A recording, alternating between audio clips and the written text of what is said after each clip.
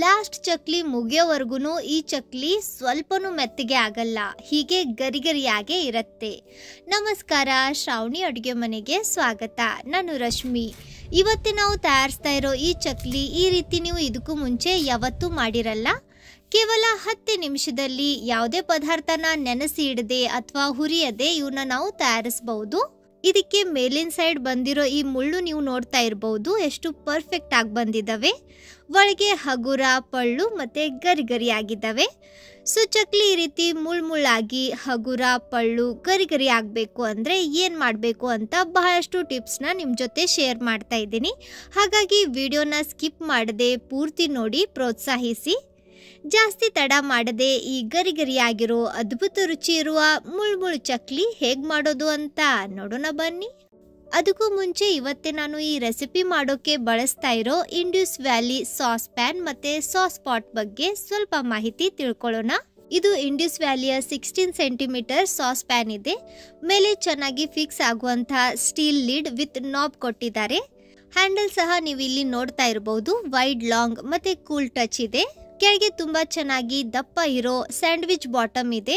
ಇದರಿಂದ ಇದು ಈವನ್ ಆಗಿ ಹೀಟ್ ಆಗುತ್ತೆ. ಒಳಗೆ ಯಾವುದೇ ಪದಾರ್ಥ ಮಾಡಿದ್ರೂ ಅದು ಸ್ವಲ್ಪನೂ ಹೊತ್ತಲ್ಲ.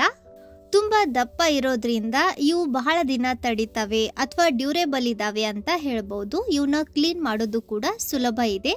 ಇದು ಏಯ್ಟೀನ್ ಸೆಂಟಿಮೀಟರ್ ಸಾಸ್ ಪಾಟ್. ಇದಕ್ಕೂ ಸಹ ಸ್ಟೀಲ್ ಲೀಡ್ ಇದೆ. ಸೈಡ್ಗೆ ಎರಡು ಕಡೆ ಕೂಲ್ ಟಚ್ ಹ್ಯಾಂಡಲ್ ಇದಾವೆ. ಟ್ರೈಪ್ಲೈ ಕೋಟಿಂಗ್ ಇರೋದ್ರಿಂದ ಇದು ಬಹಳ ಬೇಗ ಬಿಸಿ ಆಗತ್ತೆ ಮತ್ತೆ ಬೇಗ ಆರಲ್ಲ. ನೀವು ಈ ತರಹದ ಟ್ರೈಪ್ಲೈ ಪಾತ್ರೆ ತಗೋಬೇಕು ಅಂದ್ರೆ ಲಿಂಕ್ ಡಿಸ್ಕ್ರಿಪ್ಷನ್ನಲ್ಲಿ ಕೊಟ್ಟಿರ್ತೀನಿ.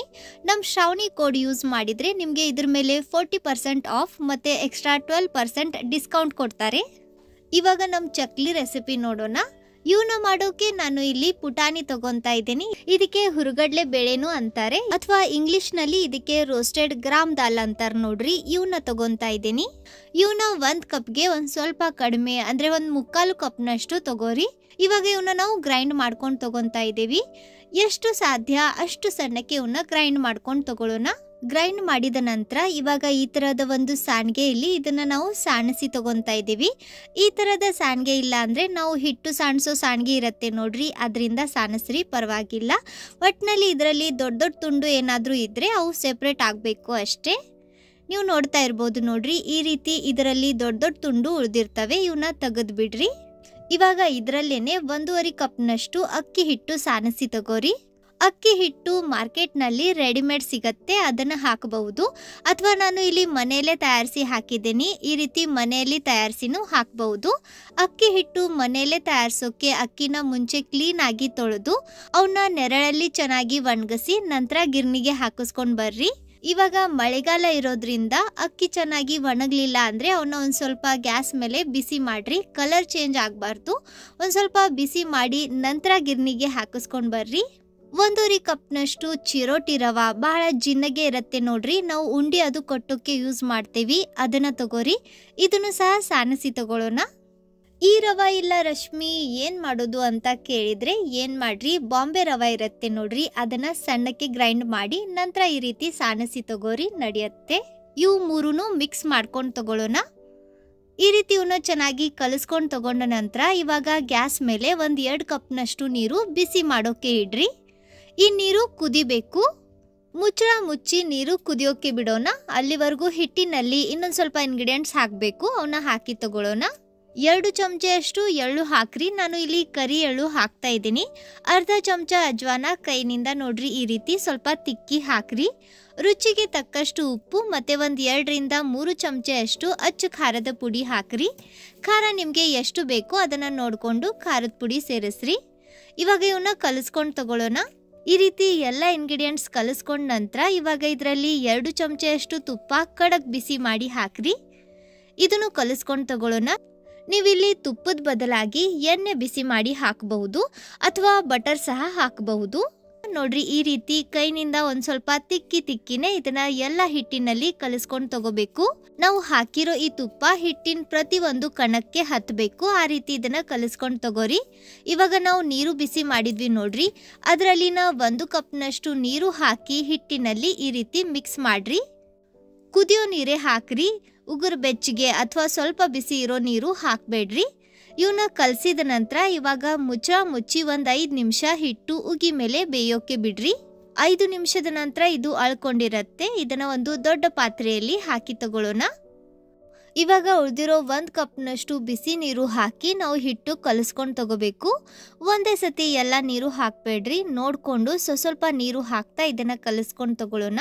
ಇವಾಗೂ ಸಹ ಅಷ್ಟೇ ನೀರು ಕುದಿತಾ ಇರಬೇಕು. ಅಂದರೆ ಕುದಿಯೋ ನೀರೇ ಹಾಕ್ರಿ. ನೀರು ಆರಿದ್ರೆ ಇನ್ನೊಂದು ಸ್ವಲ್ಪ ಬಿಸಿ ಮಾಡಿ ನಂತರನೇ ಹಾಕ್ರಿ. ಇಲ್ಲಾಂದರೆ ಹಿಟ್ಟಿಗೆ ಜಿಗಿ ಬರಲ್ಲ. ನಾವು ಚಕ್ಲಿ ಹಾಕಬೇಕಾದ್ರೆ ಚಕ್ಲಿ ಪದೇ ಪದೇ ಮುರಿತವೆ.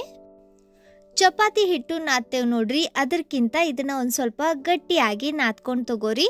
ಹಿಟ್ಟು ತೆಳ್ಳಗೆ ಆಗಬಾರ್ದು. ಸ್ವಲ್ಪ ನೀರು ಹಾಕ್ತಾ ಇದನ್ನ ಗಟ್ಟಿ ಹದಕ್ಕೆ ಕಲಿಸ್ಕೊಂಡು ತಗೋರಿ. ಹಿಟ್ಟು ಗಟ್ಟಿ ಆದರೆ ಚಕ್ಲಿಗೆ ಆ ಮುಳ್ಳಿನ ಟೆಕ್ಸ್ಚರ್ ಬರುತ್ತೆ ನೋಡ್ರಿ. ಅದು ಬಹಳ ಪರ್ಫೆಕ್ಟ್ ಆಗಿ ಬರುತ್ತೆ. ನೋಡಿಕೊಂಡು ಸ್ವಲ್ಪನೇ ನೀರು ಹಾಕ್ತಾ ಇದನ್ನು ಕಲಿಸ್ರಿ. ಆದರೆ ನಾವು ತಗೊಂಡಿರೋ ಎರಡು ಕಪ್ನಷ್ಟು ನೀರು ಪೂರ್ತಿ ಇದಕ್ಕೆ ಬೇಕಾಯಿತು. ಸೊ, ನೀರಿನ ಅಳತೆ ಕರೆಕ್ಟ್ ಆಗಿದೆ. ನೀವು ಎರಡು ಕಪ್ನಷ್ಟು ನೀರು ಬಿಸಿ ಮಾಡಿಕೊಂಡ್ರೆ ಪರ್ಫೆಕ್ಟ್ ಆಗತ್ತೆ. ನೀವು ಇಲ್ಲಿ ನೋಡ್ತಾ ಇರ್ಬೋದು ನೋಡ್ರಿ, ಈ ರೀತಿ ಮೀಡಿಯಂ ಗಟ್ಟಿ ಹದಕ್ಕೆ ಹಿಟ್ಟು ಕಲಿಸ್ಕೊಂಡ ನಂತರ ಇವಾಗ ನಾವು ಸಾಚಾ ಯಾವ ಆಕಾರದಲ್ಲಿ ತಗೊತಾ ಇದ್ದೀವಿ ಅದನ್ನು ನೋಡಿಕೊಂಡು ಹಿಟ್ಟಿನ ಉಳಿ ಮಾಡ್ಕೊಂಡು ತಗೋರಿ. ನಾನು ಸಿಲಿಂಡ್ರಿಕಲ್ ಆಕಾರದ ಸಾಚ ತಗೊಂತಾ ಇದ್ದೀನಿ. ಅದಕ್ಕೆ ನೋಡ್ರಿ ಈ ರೀತಿ ಉದ್ದಕ್ಕೆ ಉಳ್ಳಿ ಮಾಡ್ಕೊಂಡು ತಗೊಂತಾ ಇದ್ದೀನಿ. ನೋಡ್ರಿ ಈ ರೀತಿ ಎಲ್ಲ ಉಳ್ಳಿ ಮಾಡ್ಕೊಂಡ ನಂತರ ಇವನ್ನ ಮುಚ್ಚಿ ಇಡ್ರಿ. ಸಾಚಾಗೆ ಒಳಗಿನ ಸೈಡ್ ಒಂದ್ ಸ್ವಲ್ಪ ಎಣ್ಣೆ ಸವರಿ ತಗೋರಿ. ಅಂದ್ರೆ ಹಿಟ್ಟು ಸಾಚಾದಲ್ಲಿ ಅಂಟಲ್ಲ. ಇದರಲ್ಲಿನ ಒಂದು ಉಳ್ಳಿ ತಗೊಂಡು ಚಕ್ಲಿ ಸಾಚಾದಲ್ಲಿ ಹಾಕೋಣ. ಈ ರೀತಿ ಇದನ್ನ ಹತ್ತಿಕ್ಕಿ ತುಂಬ್ರಿ. ಅಂದ್ರೆ ಇದರಲ್ಲಿ ಏರ್ ಗ್ಯಾಪ್ ಕ್ರಿಯೇಟ್ ಆಗಲ್ಲ. ಇವಾಗ ಚಕ್ಲಿ ಹಾಕೋಣ. ನಾನು ಇಲ್ಲಿ ಒಂದೇ ಆಕಾರದಲ್ಲಿ ಇರುವಂಥ ಮೂರು ಪ್ಲೇಟ್ ತಗೊಂತಾ ಇದ್ದೀನಿ. ಅಂದರೆ ಇದ್ರ ಮೇಲೆ ನಾವು ಚಕ್ಲಿ ಹಾಕಿದಾಗ ನಮ್ಮ ಚಕ್ಲಿ ಸಹ ಒಂದೇ ಆಕಾರದಲ್ಲಿ ಬರ್ತವೆ. ಇದ್ರ ಹೊರಗಿನ ತುದಿ ಮತ್ತೆ ಒಳಗಿನ ತುದಿ ಒಂದ್ ಸ್ವಲ್ಪ ಪ್ರೆಸ್ ಮಾಡ್ರಿ. ಅಂದ್ರೆ ಇದು ಎಣ್ಣೆಯಲ್ಲಿ ಓಪನ್ ಆಗಲ್ಲ. ಚಕ್ಲಿ ಹಾಕ್ಬೇಕಾದ್ರೆ ಒಳಗಿನ ಸೈಡ್ ಇದನ್ನ ರೌಂಡ್ ಆಗಿ ತಿರುಗಿಸ್ಕೊಂಡು ನಂತರ ಅದ್ರ ಸುತ್ತಾರ್ಲೇನೆ ಚಕ್ಲಿ ಹಾಕ್ರಿ. ಅಂದ್ರೆ ನಮ್ ಚಕ್ಲಿ ಸಹ ಈ ರೀತಿ ರೌಂಡ್ ಆಗೇ ಬರ್ತವೆ. ಚಕ್ಲಿ ಹಾಕಬೇಕಾದ್ರೆ ಸಾಚನ ಈ ರೀತಿ ಒಂದು ಸ್ವಲ್ಪ ಮೇಲೆ ಹಿಡಿದು ಹಾಕ್ರಿ. ಅಂದರೆ ಆಕಾರ ಕೊಡೋಕೆ ಈಸಿ ಆಗತ್ತೆ. ಇವನ್ನ ಎಣ್ಣೆಯಲ್ಲಿ ಹೇಗೆ ಹಾಕೋದು ಅಂತ ಮೂರು ರೀತಿಯಲ್ಲಿ ತಿಳಿಸ್ಕೊಡ್ತೇನೆ ನೋಡ್ರಿ. ಮೊದಲಿಗೆ ಇದನ್ನು ನೀವು ಡೈರೆಕ್ಟ್ ಆಗಿ ಈ ರೀತಿ ಕೈ ಮೇಲೆ ಹೊಳಸಿ, ನಂತರ ನಿಧಾನಕ್ಕೆ ಎಣ್ಣೆಯಲ್ಲಿ ಬಿಡ್ರಿ. ಈ ರೀತಿ ಟಫ್ ಅನ್ಸಿದ್ರೆ ಜಾರಿ ಸೌಟಿಗೆನೆ ಒಂದು ಸ್ವಲ್ಪ ಎಣ್ಣೆ ಸವರಿ, ನಂತರ ಪ್ಲೇಟ್ನ ಅದ್ರ ಮೇಲೆ ಹೊಳಸಿ ಡೈರೆಕ್ಟಾಗಿ ಜಾರಿ ಸೌಟ್ನಿಂದನೇ ನೀವು ಚಕ್ಲಿನ ಎಣ್ಣೆಯಲ್ಲಿ ಬಿಡಬಹುದು. ಇದು ಬಹಳ ಈಸಿ ಆಗತ್ತೆ. ಅಥವಾ ನೀವು ಜಾರಿ ಸೌಟ್ ಮೇಲೇ ಚಕ್ಲಿ ಹಾಕಿ, ನಂತರ ಚಕ್ಲಿನ ಎಣ್ಣೆಯಲ್ಲಿ ಬಿಡಬಹುದು.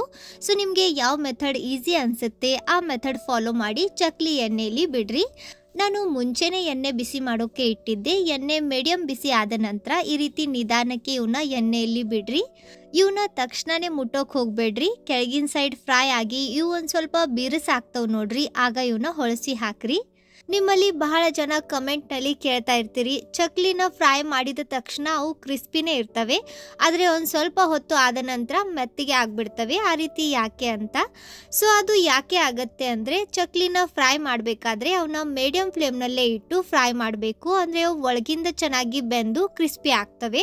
ಇವನ್ನ ನೀವು ಗ್ಯಾಸ್ ಹೈ ಫ್ಲೇಮ್ನಲ್ಲಿ ಇಟ್ಟು ಫ್ರೈ ಮಾಡಿದಾಗ ಇದಕ್ಕೆ ಹೊರಗಿನ ಸೈಡ್ ಬಹಳ ಬೇಗ ಹೊಂಬಣ್ಣ ಬರುತ್ತೆ ಮತ್ತು ಕ್ರಿಸ್ಪಿ ಸಹ ಅನ್ನಿಸ್ತವೆ ಆದರೆ ಒಳಗೆ ಹಸಿ ಇರೋದ್ರಿಂದ ಇವನು ನೀವು ಎಣ್ಣೆಯಿಂದ ತೆಗೆದ ತಕ್ಷಣ ಒಂದು ಸ್ವಲ್ಪ ಹೊತ್ತು ಆದಮೇಲೆ ಇವು ಮೆತ್ತಿಗೆ ಆಗಿಬಿಡ್ತವೆ. ಸೊ, ಆ ರೀತಿ ಆಗಬಾರ್ದು ಅಂದರೆ ಗ್ಯಾಸ್ ಮೀಡಿಯಂ ಫ್ಲೇಮ್ನಲ್ಲಿ ಇಟ್ಟು ಒಂದು ಸ್ವಲ್ಪ ಪೇಷನ್ಸ್ನಿಂದ ನಿಧಾನಕ್ಕೆ ಇವನ್ನ ಹೊಳಸಿ ಹಾಕ್ತಾನೆ. ಒಳಗಿಂದ ಚೆನ್ನಾಗಿ ಬೆಂದು ಗರಿ ಗರಿ ಆಗೋವರೆಗೂ ಫ್ರೈ ಮಾಡ್ಕೊಂಡು ತಗೋರಿ. ನೋಡ್ರಿ ನಮ್ಮ ಮೊದಲನೇ ಬ್ಯಾಚ್ ಫ್ರೈ ಆಗಿದೆ. ಈ ರೀತಿ ಹೊಂಬಣ್ಣ ಬಂದ ನಂತರ ಇವನ್ನ ಎಣ್ಣೆ ಬಸ್ತು ತೆಗೆದು ಬಿಡ್ರಿ. ಎರಡನೇ ಬ್ಯಾಚ್ ಸಹ ಇದೇ ರೀತಿ ಫ್ರೈ ಮಾಡ್ಕೊಂಡು ತಗೊಳ್ಳೋಣ. ಎಣ್ಣೆಯಲ್ಲಿ ಎಷ್ಟು ಈಸಿಯಾಗಿ ಸಾಲ್ತವೆ ಅಷ್ಟೇ ಚಕ್ಲಿ ಹಾಕಿ ಫ್ರೈ ಮಾಡ್ರಿ. ನಾನು ಇದಕ್ಕೂ ಮುಂಚೆನೂ ಬಹಳಷ್ಟು ಚಕ್ಲಿ ರೆಸಿಪೀಸ್ ಆಲ್ರೆಡಿ ನಿಮ್ಮ ಜೊತೆ ಶೇರ್ ಮಾಡಿದ್ದೀನಿ. ನೀವಿನ್ನೂ ಆ ವಿಡಿಯೋಸ್ನ ನೋಡಿಲ್ಲ ಅಂದರೆ ಲಿಂಕ್ ಡಿಸ್ಕ್ರಿಪ್ಷನ್ನಲ್ಲಿ ಕೊಟ್ಟಿರ್ತೀನಿ. ಖಂಡಿತ ಒಂದ್ಸತಿ ಚೆಕ್ ಮಾಡಿರಿ. ಚಕ್ಲಿ ನೋಡಿ ಇದ್ರ ಸೌಂಡ್ ಕೇಳಿದ್ರೇನೆ ಗೊತ್ತಾಗತ್ತೆ ಇವು ಎಷ್ಟು ಗರಿ ಗರಿ ಆಗಿದ್ದಾವೆ ಅಂತ. ನೀವು ಸಹ ಇದನ್ನ ಒಂದ್ಸತಿ ಟ್ರೈ ಮಾಡಿ ನೋಡ್ರಿ ಹೇಗೆ ಬಂದಿದ್ದಾವೆ ಅಂತ ಕಮೆಂಟ್ನಲ್ಲಿ ತಿಳಿಸ್ರಿ. ವಿಡಿಯೋ ಇಷ್ಟ ಆದರೆ ಸ್ವಲ್ಪನಾದರೂ ಯೂಸ್ಫುಲ್ ಅಂತ ಅನಿಸಿದರೆ ಪ್ಲೀಸ್ ಲೈಕ್ ಮಾಡಿ ನಿಮ್ಮ ಫ್ರೆಂಡ್ಸ್ ಹಾಗೆ ಫ್ಯಾಮಿಲಿ ಸರ್ಕಲ್ ಜೊತೆ ವಿಡಿಯೋನ ಶೇರ್ ಮಾಡಿ ಪ್ರೋತ್ಸಾಹಿಸಿ. ನಿಮ್ಮ ಬ್ಯುಸಿ ಲೈಫ್ನಲ್ಲಿ ಟೈಮ್ ತೆಗೆದು ಈ ವಿಡಿಯೋ ನೋಡಿದ್ದಕ್ಕೆ ತುಂಬ ಧನ್ಯವಾದ. ಭೇಟಿಯಾಗೋಣ ಇದೇ ಥರದ ಮತ್ತೊಂದು ಹೊಸ ರುಚಿಯಾಗಿರೋ, ಗರಿಗರಿಯಾಗಿರೋ ಯೂಸ್ಫುಲ್ ರೆಸಿಪಿ ಜೊತೆ. ಅಲ್ಲಿವರೆಗೂ ಬಾಯ್ ಫ್ರೆಂಡ್ಸ್